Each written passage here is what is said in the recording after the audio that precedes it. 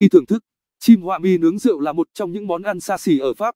Tuy nhiên, nó gây ra nhiều tranh cãi vì cách thức săn bắt và chế biến bị đánh giá là quá tàn nhẫn.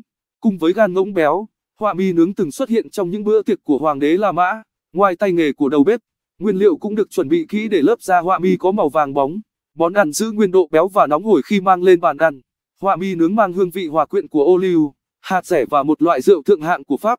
Để thưởng thức món ăn một cách trọn vẹn, thực khách phải nhai từ từ, cả xương và nội tạng, chỉ bỏ lại phần mỏ. Một số người thưởng thức món ăn này cho biết, họ phát cuồng khi hương vị tan trong vòm miệng. Cách thưởng thức chim hoa mi nướng cũng không giống thông thường. Theo truyền thống, thực khách sẽ dùng một chiếc khăn lớn để trùm đầu khi ăn. Chúng có công dụng lưu giữ mùi hương của món ăn và đảm bảo lịch sự khi nhai, nhả xương.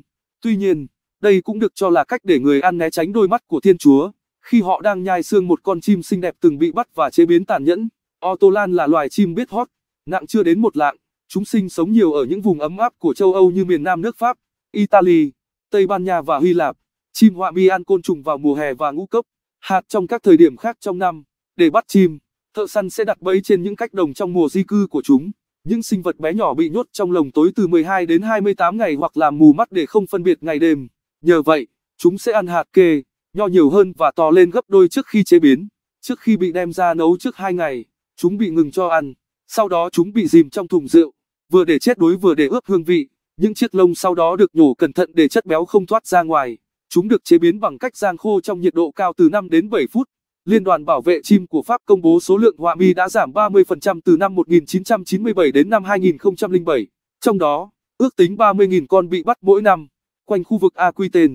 Đến năm 2007, chính phủ Pháp ban hành lệnh cấm săn bắt, với mức phạt tối đa 6.000 euro để bảo vệ loài chim này.